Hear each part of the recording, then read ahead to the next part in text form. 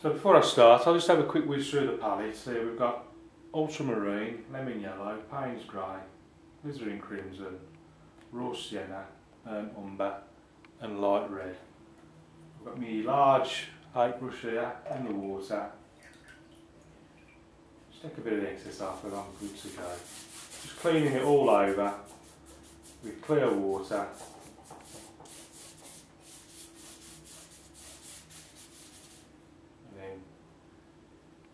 hairs go a bit funny. So I'll just dip the tips in, just to bring them all back together. And then, um, I've no real plan about what I'm going to paint this time. Uh, I'm just going to make it up as I go along. So I'm just going, let's just go light red, lemon yellow, and just bash some of that in. more red.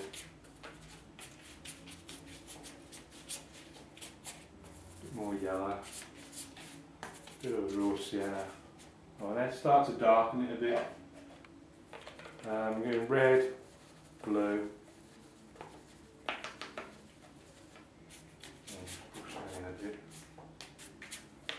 Let's go red, blue, bit of black I think. Let's really darken it with the Payne's grey, light red Payne's grey mix. And then just brushing that down there and across there. Just try and create some sort of drama going on, like a sort of could be a, sunset or something like that.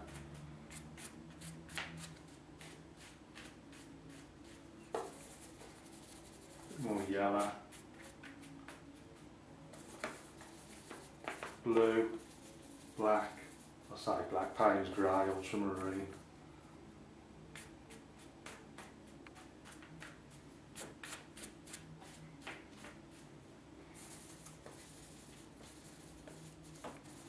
Uh,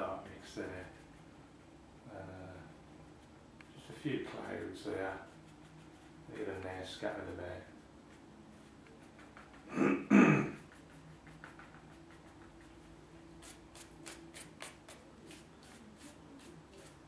Incidentally, what I've done, because this is often prayed, I've just stuck a, I've stuck my little hake brush there, just to bring it up to this, so it doesn't keep catching me brushes. I go like this.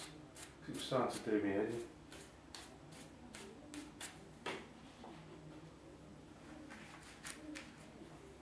So that in place, bit of tissue, a few little white clouds in there. I'll try not to go over the, over the top. Keep it subtle. Do a few, step back, take a look at it see what it looks like. Does it need any more? If not, just stop. So hard to stop. Don't keep fiddling. Um, and then all those sky colours, they're all still on the brush, I haven't cleaned it. Uh, let's just put a bit of land somewhere about. There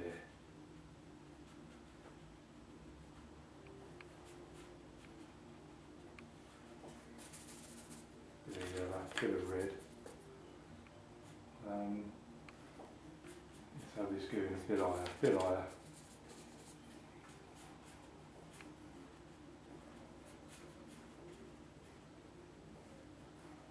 Um, is this going to be water? Well, let's pull down some reflections. And you can see where the paper's still wet, the reflections are nice and soft, and when it's dry, you'll get the harder edges. But it's not the end of the world if it's dry before you got them in.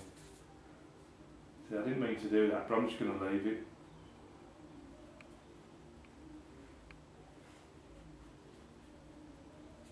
Um, or shall I leave it? Actually, I'll try a quick repair job. Let's see if it does work or not. I'm going to take the uh, the rigger. I'm just going to just wipe that and give it a dab. See what it looks like. Don't look too bad. Now the paper's stretched. Just move the water jar out of the way. So I'm just going to put it tight so that it's flat again. Then really clip it there with these big clips.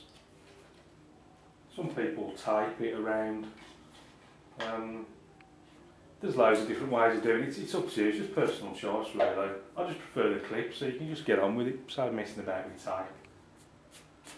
See if I can. No, it's too dry now. I can't brush anymore, and I can just about see it. It just doesn't look right. Um, there's probably a bit of someone over on this side. Um, I still haven't cleaned the brush, by the way.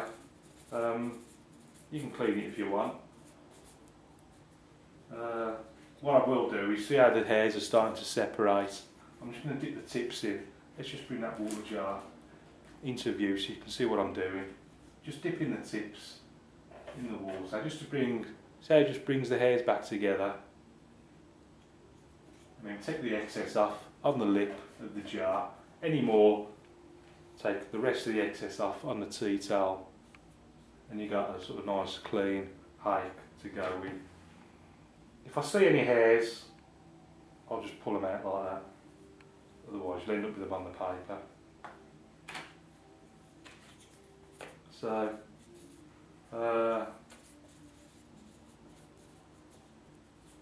just working your way around the palette, taking a bit of everything really.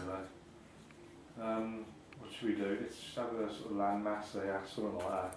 Bit of green, bit of grass growing on the side. That's coming down. Maybe a bit of brown. I haven't used brown yet in this one.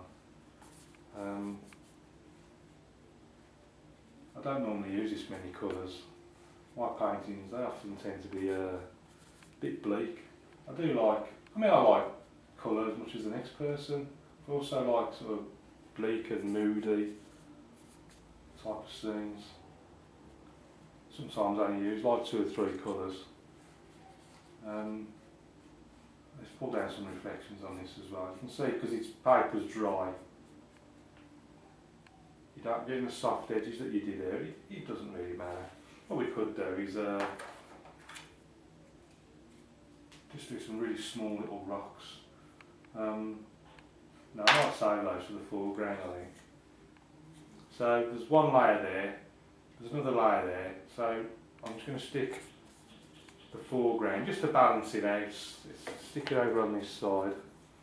So as it's coming towards us, distant and then the sort of middle ground in, and then the foreground's over here. Just sweep that across.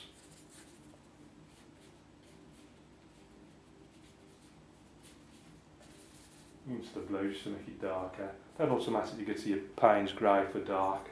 The, uh, the blue, ultramarine, works very nicely. It's when you want to darken a mix. Bits of land there sticking out, coming down into the foreground, just fill that little bit in there. And then just helps create that sense of depth. Got our foreground interest there. I'm going to take a just a plastic card, just, just like a credit card or whatever you've got, and then because the paint went on fairly thick, I haven't got to wait for it to dry or anything like that, so I can just scrape these rocks. Well, they're, not, they're like little pebbles on the shore, just little stones. Um, just trying to keep them really small. I'll stick a big one in there if you like.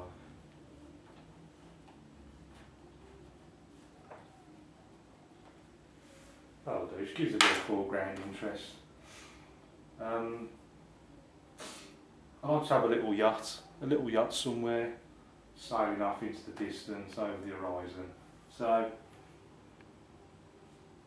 I just need to make sure that that's dry first before I do this. And often I'll make sure that it's dry by using the air dryer.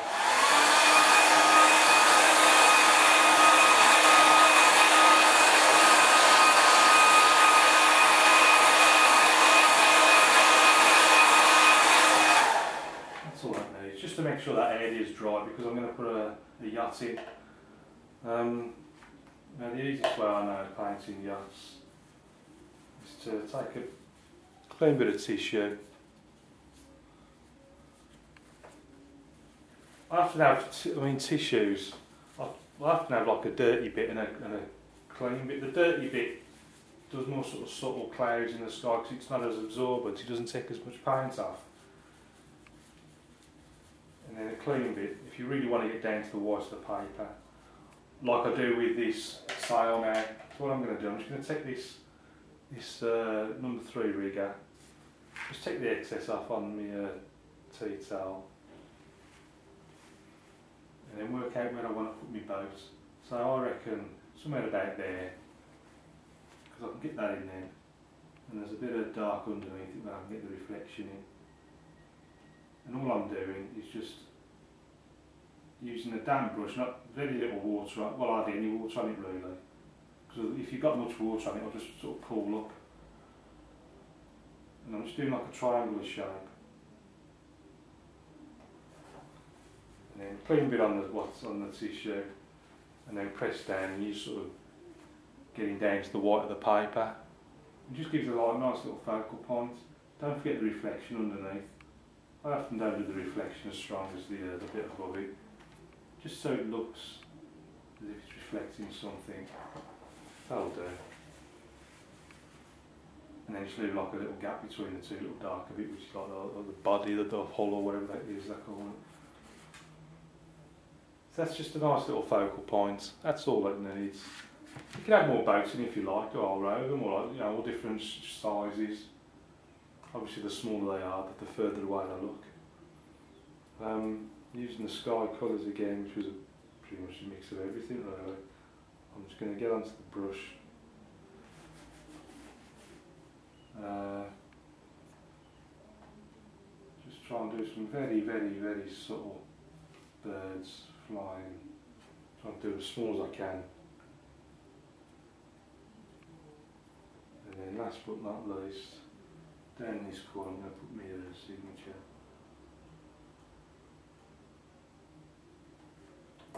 And we'll call that one finished. Let's go and have a, have a closer look at it. This is our finished painting. If we just start off with the sky. Um, in fact, first thing that jumps out at me, it would have been better I think if I'd have reflected a bit of this red in the water. I think that's missing. Um, that repair job, it come off pretty well actually. You can hardly notice, you just see a little bit of white of the paper. Um, so the sky was a mixture of a lot of the brighter colours, the light red, um, raw sienna, lemon yellow, create that sort of sunset, sunrise sort of effect. Also a lot of the white of the paper left behind as well, just to get that sort of real brightness especially in contrast to the darker clouds further up and a few of the whiter clouds took, took out with the uh, tissue. Distant land I always put in using the same sky colours. You see as it sort of fades away into the distance. A lot of blue as well, trying to help pushing it right back. Put the reflections in as well. Helps create that illusion of water. The mass of land on the far side as well with the reflections put down. Ground area is broken up using the corner of the plastic card just to help create the illusion of these rocks and stones and pebbles on the on this sort of foreground beach. The focal point is our little boat here sailing off into the distance, not forgetting the little reflection below. Just try to do these tiny little birds up in the sky just to add a bit of life. I Hope you like that. Thanks for watching. Any questions, please ask. Keep practicing, and I'll see you again soon.